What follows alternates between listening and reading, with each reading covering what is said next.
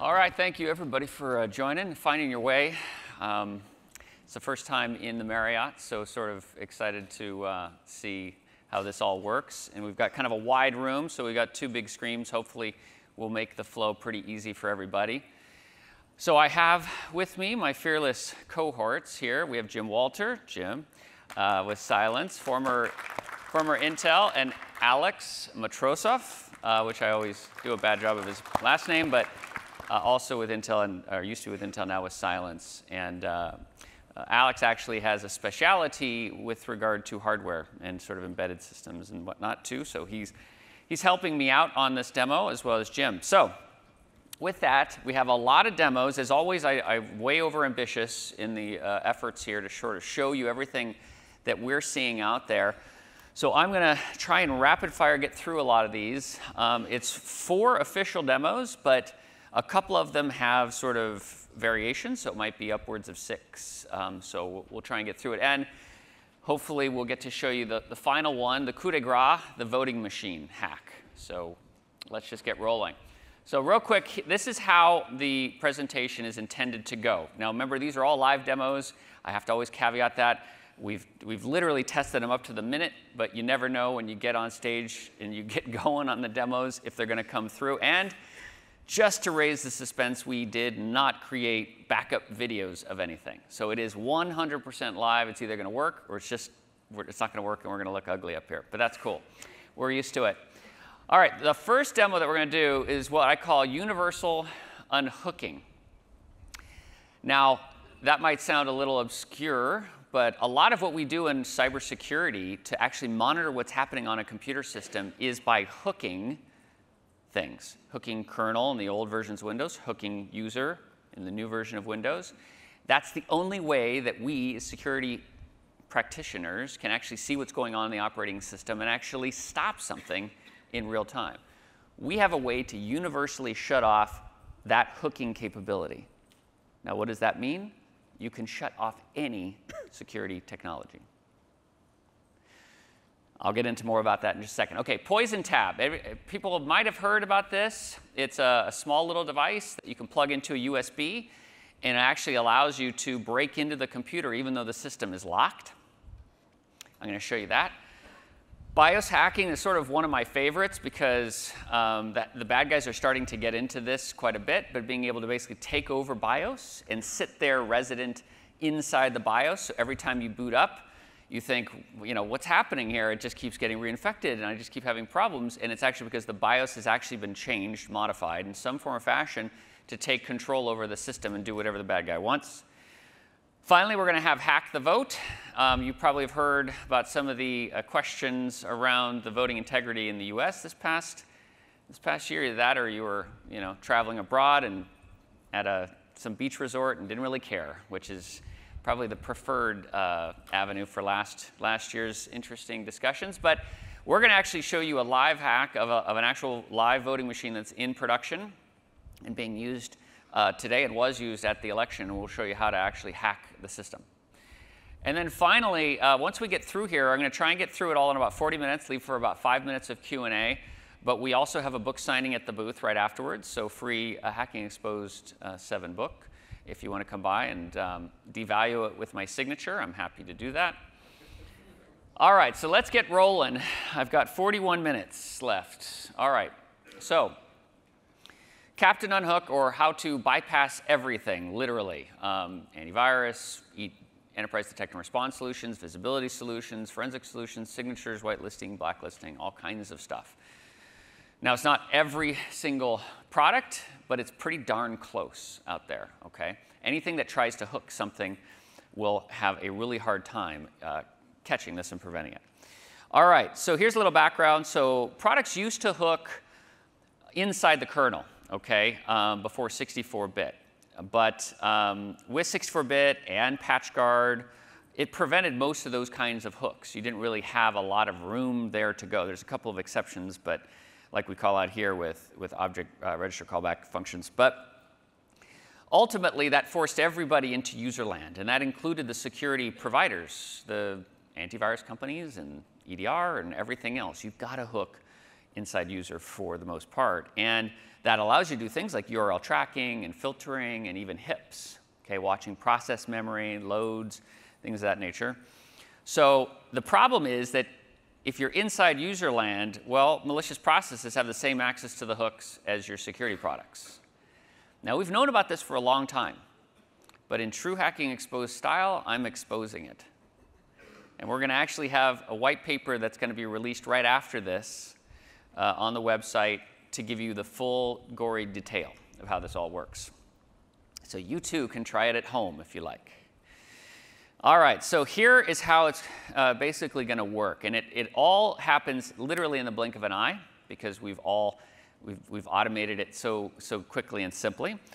But basically, in the userland space, it goes through all the modules loaded into uh, a process, and then for each module, it opens the files, processes the data, clean uh, view of what the DLL should look like.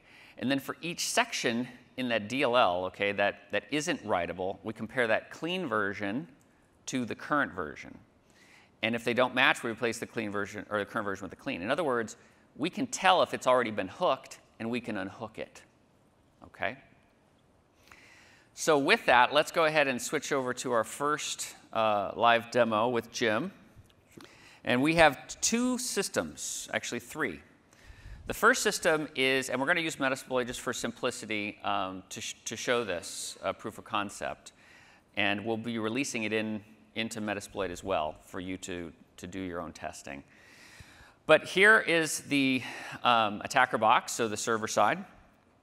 And uh, you can see there, if, your if your eye uh, can catch it, is the exploit that we're using is a, a browser exploit, the IE uh, C generic ICE element, right? No, C, C element.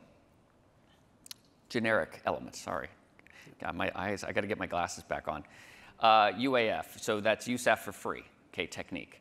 So this is going to be the initial payload of how we're going to get the unhooking code actually to execute on the system, okay? Because this system is vulnerable to this particular exploit, okay? So the victim box is the other system, and that's what Jim is showing you right now. Now, what's going to happen, it, it, it, it, literally happens in a blink of an eye, so I have to set it up so you can sort of follow.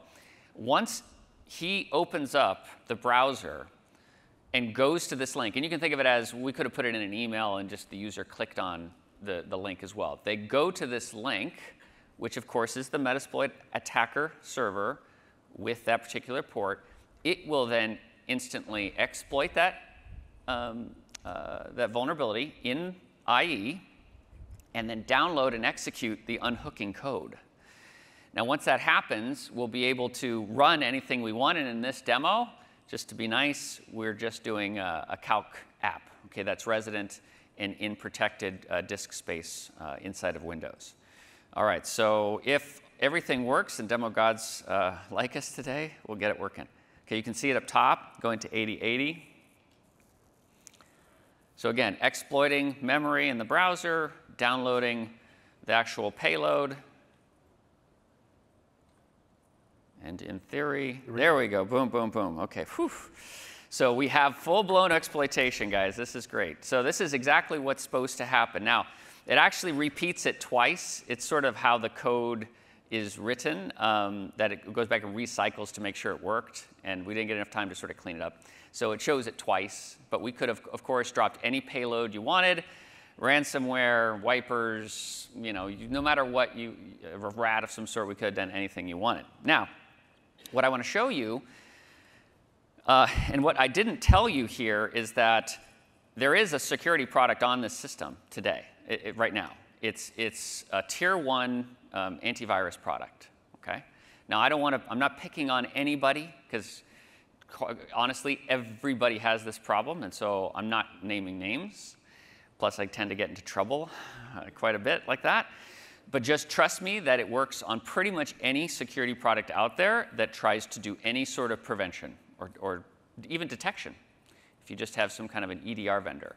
So be really cognizant of what we release after this with the white paper and talking about it uh, in the space um, because it is a difficult fix.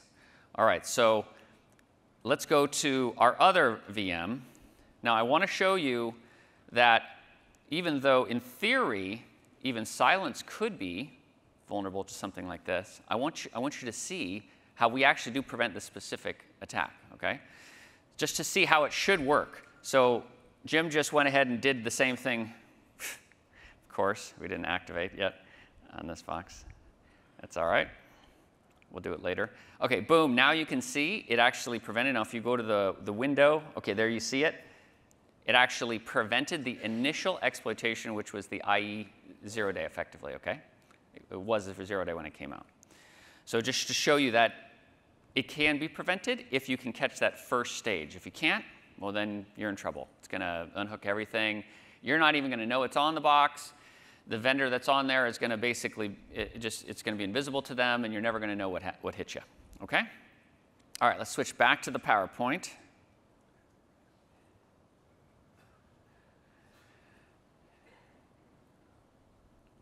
Okay. So, as you saw here, it has to monitor the behavior. That's why this all works.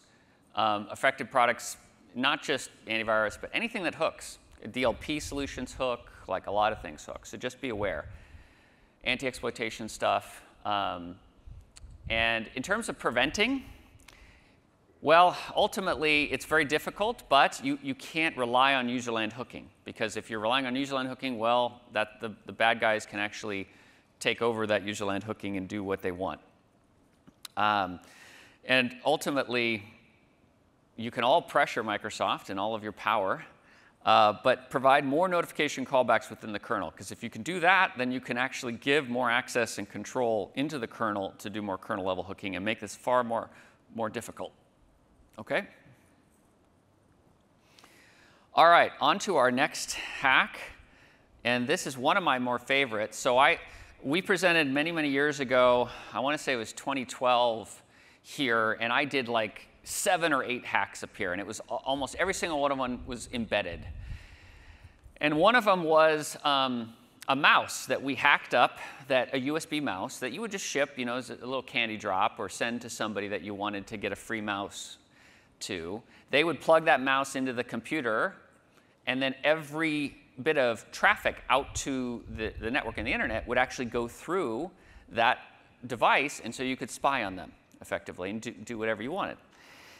But we saw a, a recent use of a Raspberry Pi um, to do what's called a poison tap, which basically, even though the box is locked, you can plug in and you can actually totally take over the system, exploit it in any which way, shape, or form that you want. So we're going to show you how to do that um, in just a second.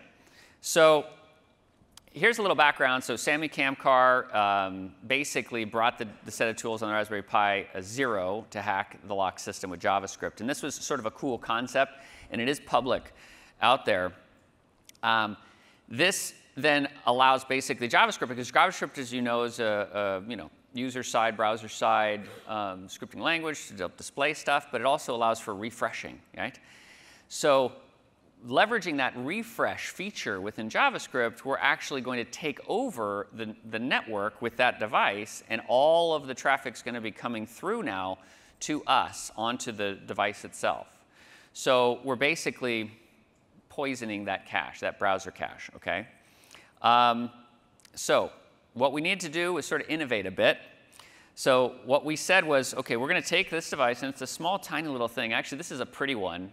It's enclosed and we've got it enclosed in sort of some nice plexiglass. But these, these tiny little boards, all you need is the board inside there, really. This is because we travel everywhere and we break things a lot. But the, the normal one just goes without the, the protecting cover. And so we're going to plug this sucker in. And this is what's going to happen under the covers, behind the scenes. Okay, so first, Windows itself sees the device as a new network adapter. Okay, because we're going to tell it we're a network adapter, Windows, like listen to us, yeah? Now again, we could put this into a mouse just like anything else. We could put it into anything you want. Um, in, in some cases, you could put it into a monitor and use HDMI to do the same exact thing, okay? But that, um, then the Windows machine will, uh, based on the network adapter, try and do a DHCP request. And the Raspberry Pi will actually uh, become the network gateway. So all traffic now will be, instead of going out the main network interface, it'll go through our Raspberry Pi first, then go out the network interface. Okay? So any web browser that gets refreshed that isn't over SSL, right, because we couldn't peer into an SSL session in, in, in, this particular demo, then we can inject our own JavaScript and do whatever we want. Now we use Metasploit uh, to get code execution on another UAF. Um, and then this, in this particular case, instead of just running calc, we're going to run some modified ransomware and see if we can get this sucker to brick, okay, and get it, get it totally owned. All right, so let's go ahead and switch over again to Jim's box, uh, the laptop demo. Okay. Now this one's a little tricky because it's a little uh, touchy, but basically because you can't really control sometimes when Windows sees the device and how it handles it. But go ahead and plug it in, Jim. So we're now on the first victim system, and it does take a little bit of time. Now, you also see up here a browser that's uh, connected to a website already, and it, we have an automatic refresh built into the JavaScript that is going to auto refresh in 30 seconds or less now, and it's going to start to count down.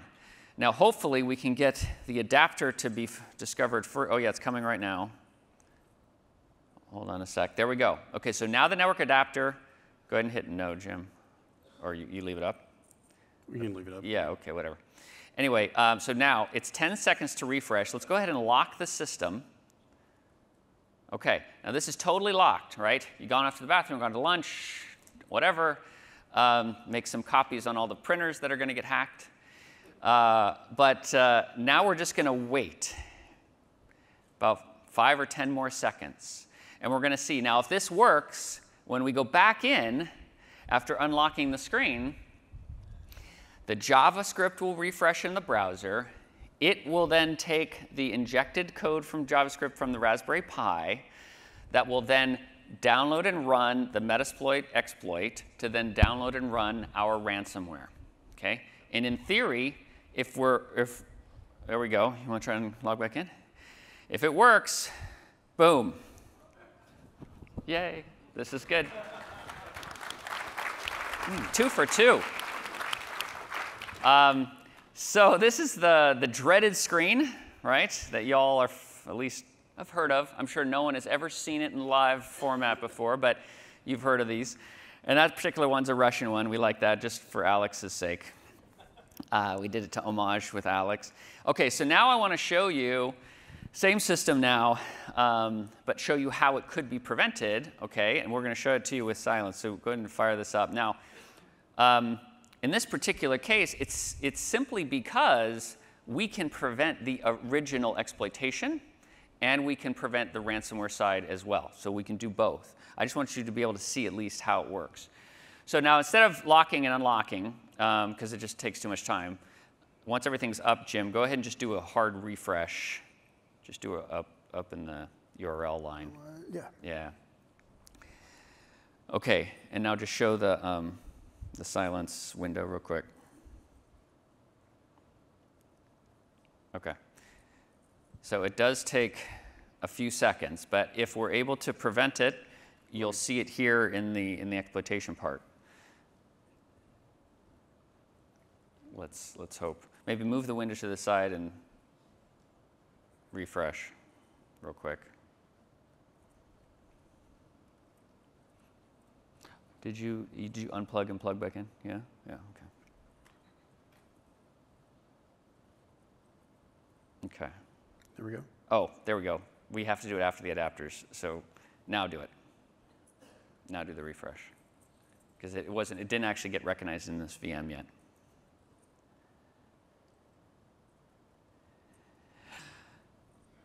Exciting. Come on. Just show it. Boom, didn't work. And boom, there we go. So see it blocked, the iExplorer. Thanks, guys. Anyway, I just wanted you to see it. It's, it's mostly just I want you to see how it can be prevented. That's all, okay? So let's go ahead and um, go back to the PowerPoint, if you could, please.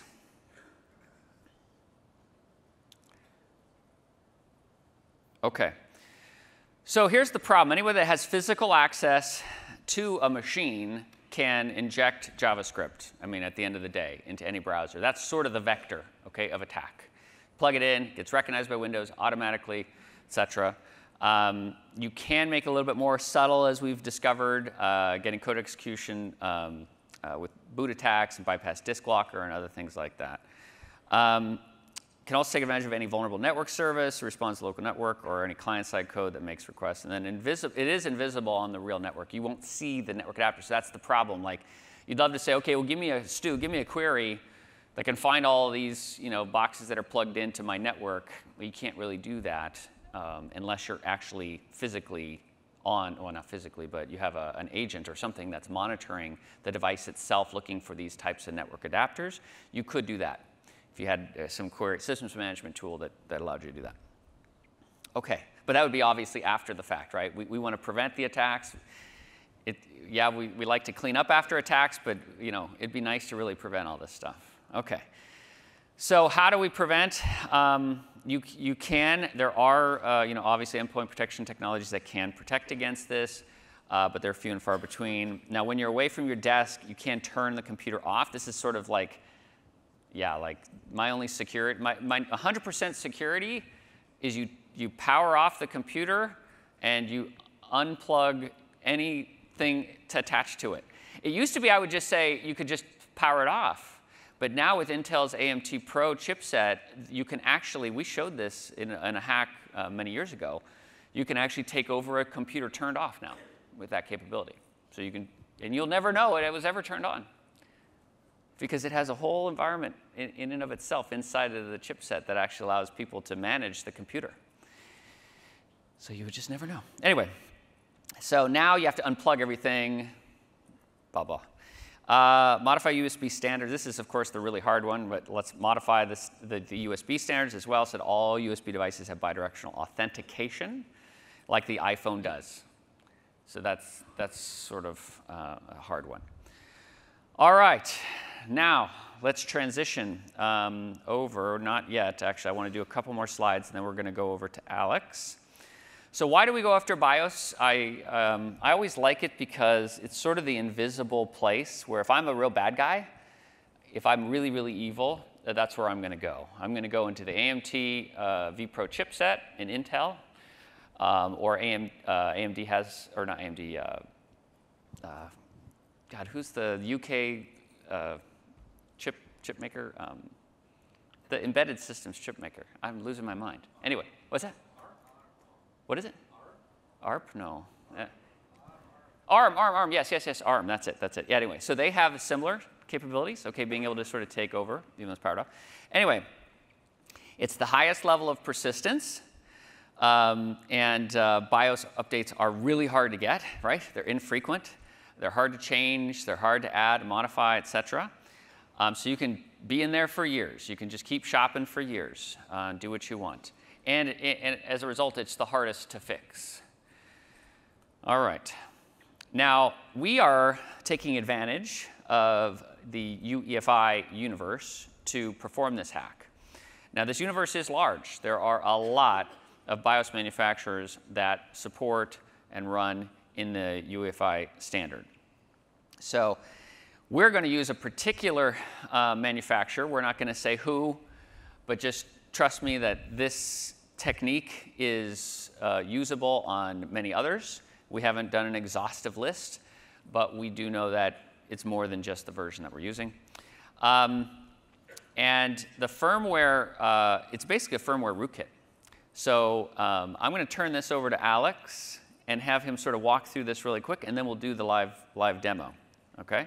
So I'll, I'll be Vanna for you, Alex, and move the slides forward, okay? So uh, usually firmware exploits, it's uh, really hard uh, because uh, you should have like privilege escalation to kernel mode, start uh, some privilege escalation to system management mode, which is most privileged uh, mode into x86 systems. And then you can actually try to figuring out of some memory protections and getting into the SPI flash.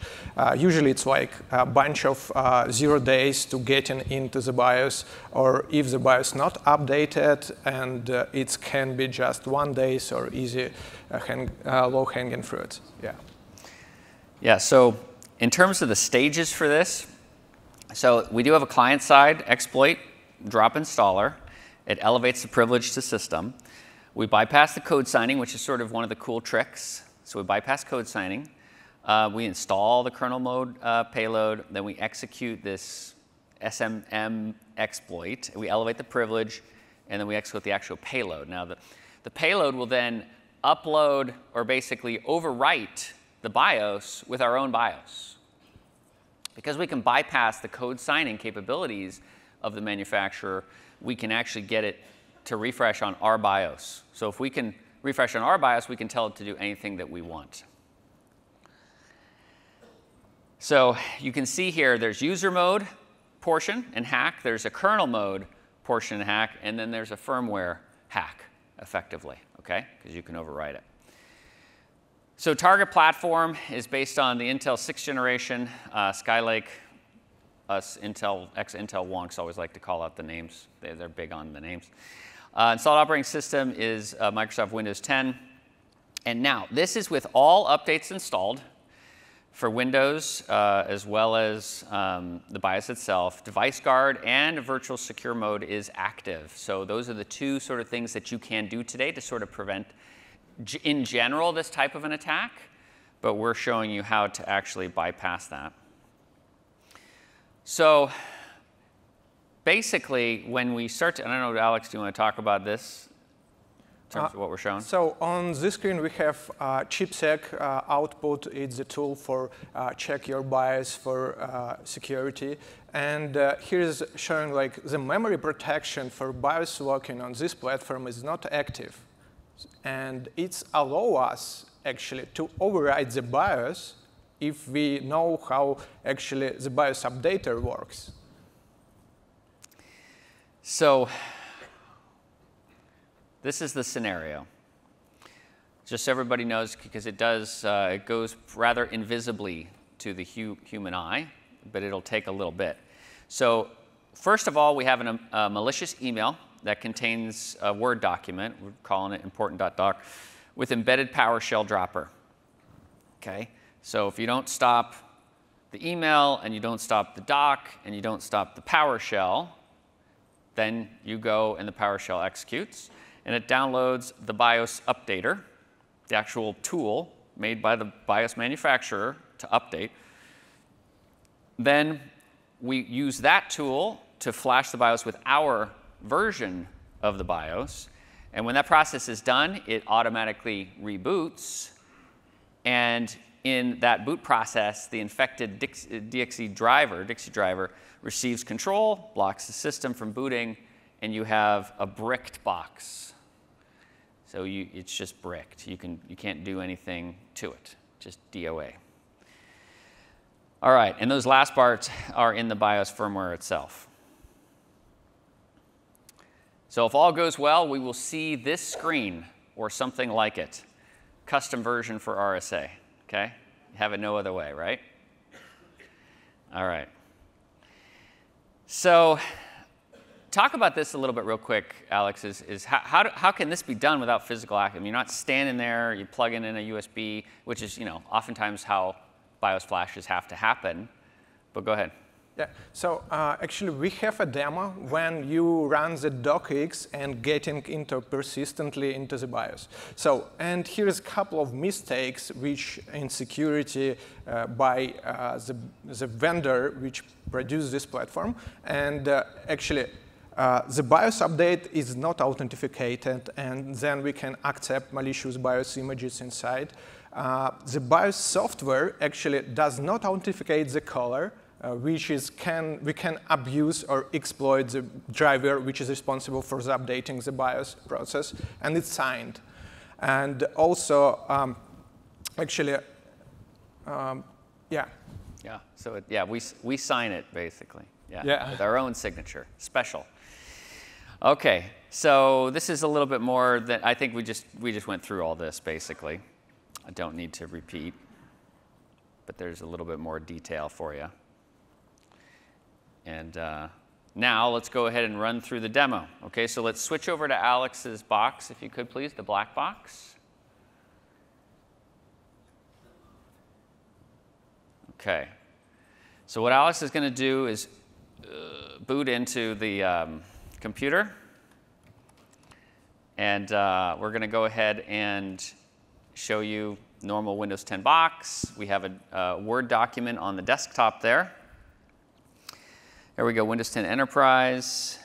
Um, Secure boot is active. oh, wait, yeah, show that real quick. Click on that. So yeah. You see it right there. Device guard. You see device guard virtualization. Yep. Running, etc. So, okay. So it's all live and running. Secure boot state is on. So to Windows, it's done everything right, okay, for, for preventing this kind of attack.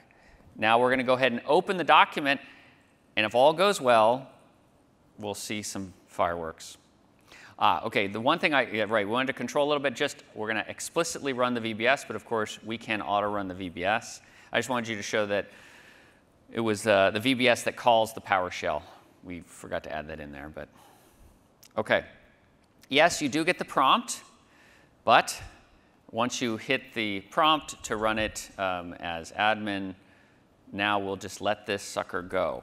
Now, because there's a lot of steps, because it's downloading, it's refreshing the whole BIOS. BIOS refreshes can take you know minutes, uh, at least sometimes. So this might take a little bit to go and finish. But um, the goal here is, of course, to get total ownership of that BIOS and then reboot quick, and then do whatever we want. And in this case, it could be a ransomware screen that basically said, look, you're not booting up until you get, uh, send us Bitcoin. And I don't know, has anybody seen uh, the Satan ransomware as a service? Anyone want to raise their hand? That, I almost did that demo up here too. If you haven't looked at this, Satan ransomware as a service, it's, um, it's definitely the future of ransomware. So what's happening with this is they actually have a website. You can go on there totally, I mean, you, lo you log in with a fake you know, email, whatever, but basically you get an account and uh, you don't have to pay for a thing. They just take a cut of every box that you crypto. It's really, really cool. So actually, at, um, at our booth, we show this live. We, we just generate a, a random new uh, ransomware, and because they use a mini, mini uh, polymorphic in the background too, which makes it really, really hard for signature-based detections to actually catch, we'll show you how we can, we can catch it almost every time. it should be every time. Far more than anyone. Okay, look, it looks like we got some action here with Alex. Um, taking over. But this is, that ransomware is definitely the state of it. Okay, look, so we got a reboot, right, Alex? Is that what we're looking at? So we got, Uh, yeah. we got the refresh. We starting on really early stage of the booting of the platform to lock it uh, totally. And uh, actually, if you even want to go the BIOS setup, you can't because we lock very early. Yeah. Okay, so it's doing its magic, but so Satan ransomware as a service, just absolutely cool. I mean, in a bad way, but uh, you, you're at least exposed to what the bad guys are actually doing out there. So it sort of gives you uh, a little warm fuzzy. You actually know what the heck they're trying to do. But yeah, those things can be nasty, um, and that's probably what we would do here, something like that, that just would never get caught. Okay. Ah, whoa, there we got it. Okay, so that's it. So now this box is ransomwared. Um, we can then prompt the user for Bitcoin or tell them to go, go have fun pounding sand and uh, have at it. So the goal is obviously to prevent this kind of stuff. So let's go back to the slides and let's talk about some of the prevention capabilities. Oh, yeah, I'm sorry?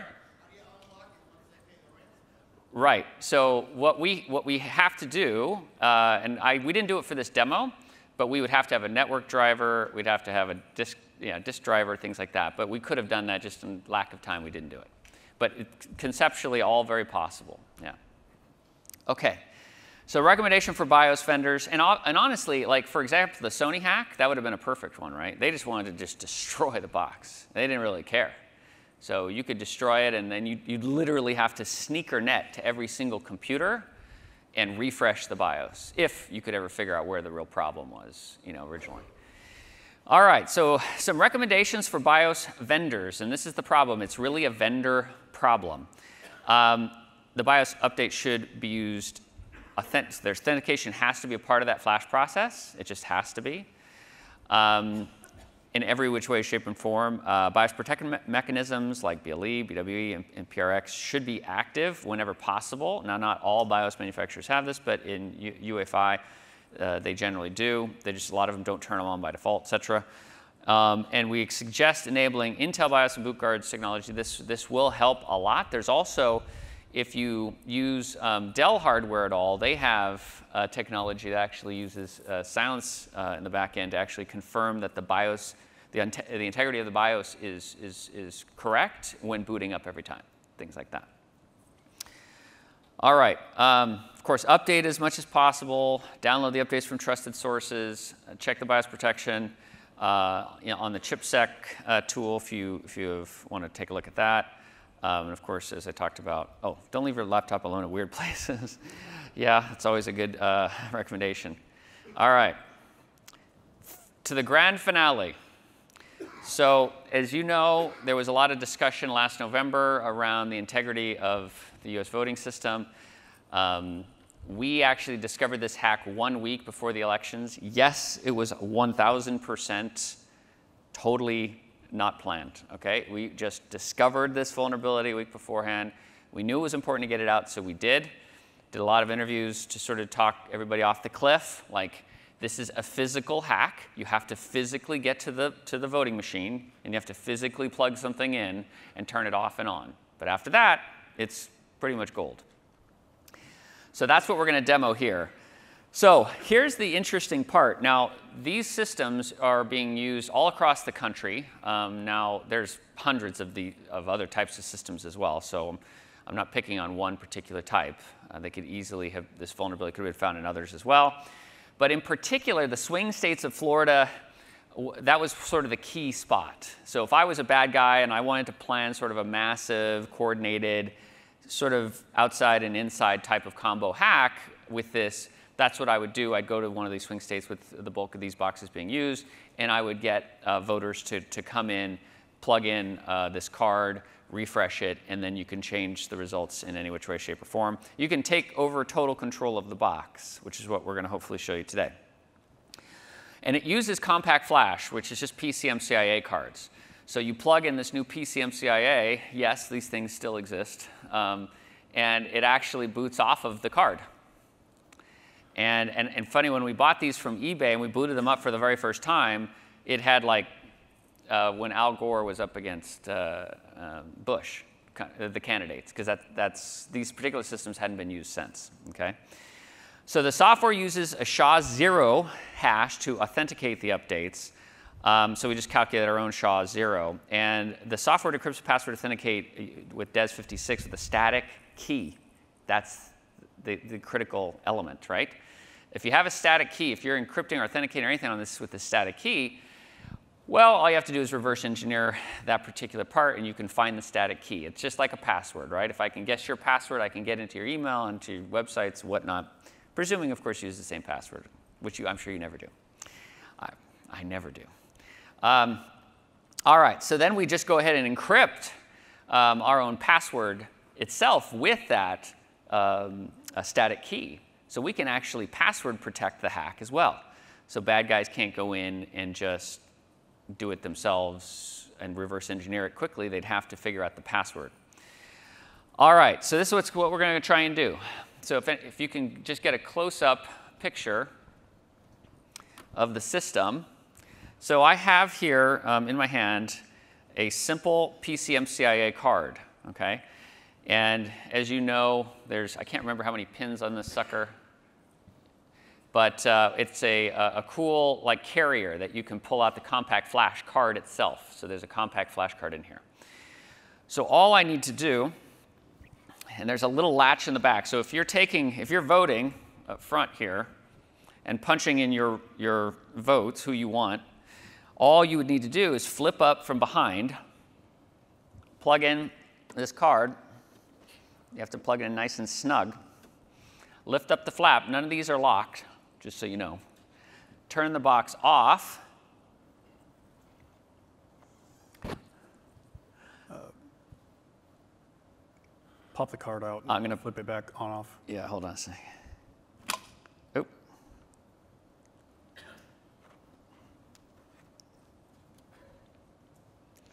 Should I should I unplug it? Go, go off and then plug the card in.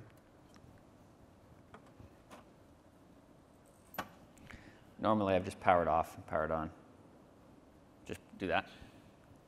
Unplug. Yeah. Yeah. It's asking to prompt, but it doesn't, you don't need to have the prompt. That's what I'm just bypassing. Okay, so plug in, then turn on. Now, what it'll do is it'll actually look at what's plugged in that PCMCIA card and the compact flash inside that card, and it'll actually boot off of it. It'll, it'll take whatever is on that system and it'll actually boot into it. And so this does sometimes take a minute or so. So you would have to sort of figure out, hey, I'm just standing here, just really looking at all the candidates, really taking them seriously, trying to figure out what's, you know, what's going to make or break the election.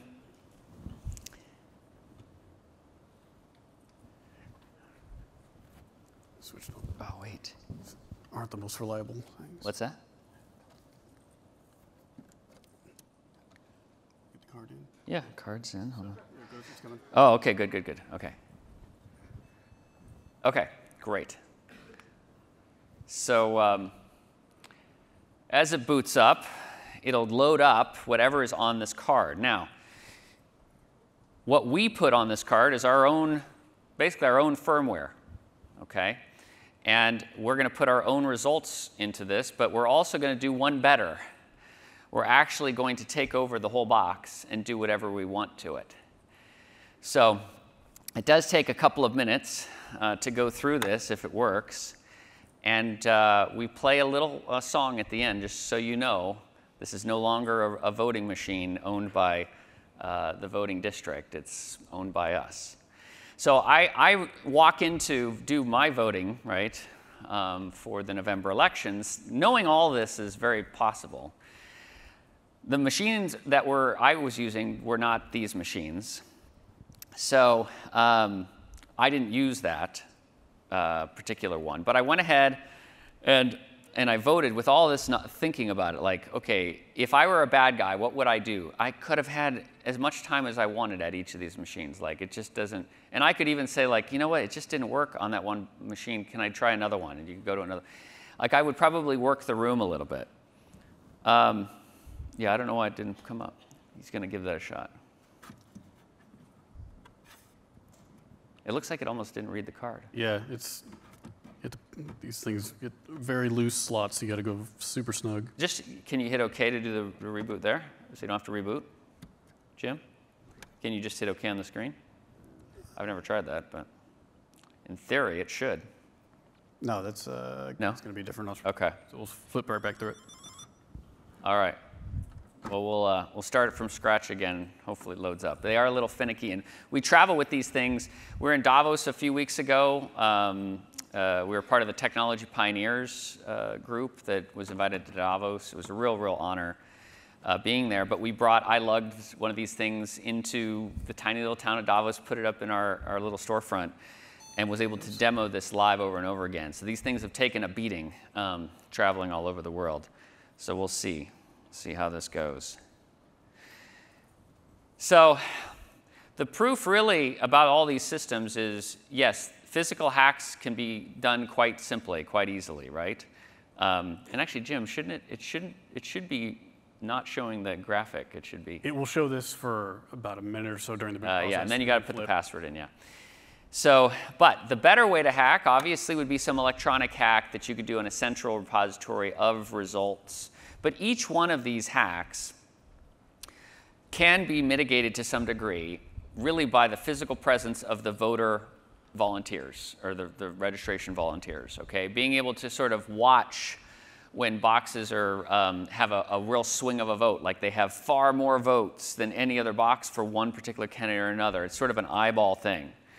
So you have to do a lot of that visible look-see and kind of make sure you empower all the volunteers to sort of raise their hand and say, hey, this is a problem, this is not working.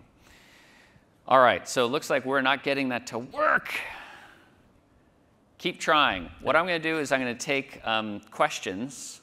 Uh, I know we're sort of running out of time, but I'm going to take some questions, maybe just one or two, and hopefully Jim can make it work. If not, we're going to bring it by the booth and we're going to get the sucker working. And you're going to come by and take a look, hopefully. Any, any questions while we're sort of running out of time on any of this stuff? You'll see the Universal Unhooking uh, white paper and blog come out um, right after this. So the, hopefully that'll be a little enlightening. And then other than that, um, you know, please drop by and, and check out the booth. And uh, any other questions? Like anybody? Yeah. So where'd you get the voting machine? Uh, eBay. Yeah. Yeah, it's an easy one. Was there another question over here? Yeah, yeah, Mike.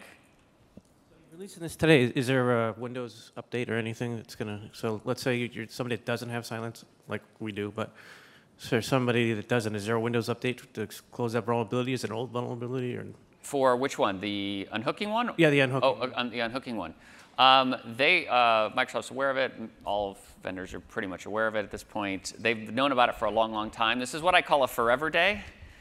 It's been around for forever, but no one's wanting to fix it. Ah, here we go. Good. Quick, punch it in.